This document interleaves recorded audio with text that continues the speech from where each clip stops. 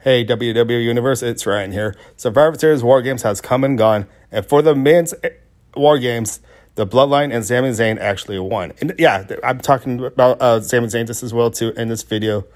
How sincere he was to the Bloodline, and how uh, well he actually was cooperated with uh, Roman Reigns, Jimmy Uso, Jey, and Solo at the same time. Two nights after Survivor Series War Games, here we are once again in the middle of the ring with uh, Jey Uso and Sami Zayn finding out uh, where they actually stand in the bloodline. But if you notice on uh, the left hand side, Solo is has his arms all folded. What is this a sign? It, throughout this uh, segment, it just seems like he Solo feels uh, feels a little different, and Sami Zayn still trying to get along with uh, Jey. Does that hug really represent what we actually saw Survivor War Games? Is that actually with Sami Zayn and Jey Uso still? See, this is the look we've been getting for the last couple months with Jey Uso with Sami Zayn, and plus us, the WWE Universe, as well too. I would like to know where Roman Reigns actually is throughout all this. It seems like the uh, Usos and Solo are together all the time with uh, Sami Zayn. Where is Roman Reigns? Why he, is he not appearing on both uh, shows? I know Roman Reigns is most likely on Friday Night SmackDown because he, he's that's where he's supposed to be. But he does have both of those belts, which is meaning Shouldn't he be on both shows? See, see Sami and uh, Jimmy here playing all around.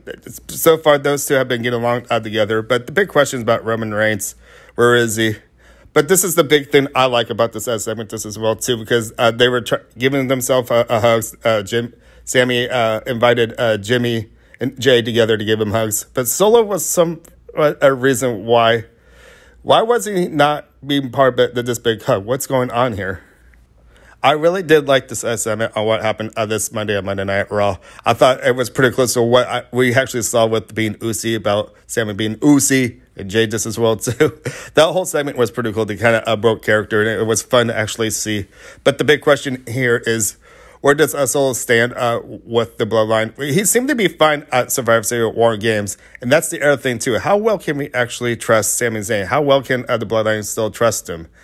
Because we now know the bloodline now trusts Sami Zayn since he attacked his best friend Kevin Owens. But where does this actually stand? I feel something's still going to happen here. This bloodline has been around for quite a while. I think it might be time that we might see a separation. It may happen all the way up until the next WrestleMania, and maybe a possible match with this as well too. Because I feel Sami Zayn and Kevin Owens still get along well. It's just a matter of when it's going to happen and when it's going to happen which will probably be WrestleMania of next year, and maybe uh, they could be going after uh, the Usos uh, tag team belts. So, what do you guys actually think? Leave some comments down below. Love to hear what you guys got to say. But anyways, I'm going to start wrapping things up saying my name is Ryan. Thank you for watching. Make sure to give me a thumbs up, subscribe, and I'll see you back for more wrestling talk. Thank you for watching. Bye.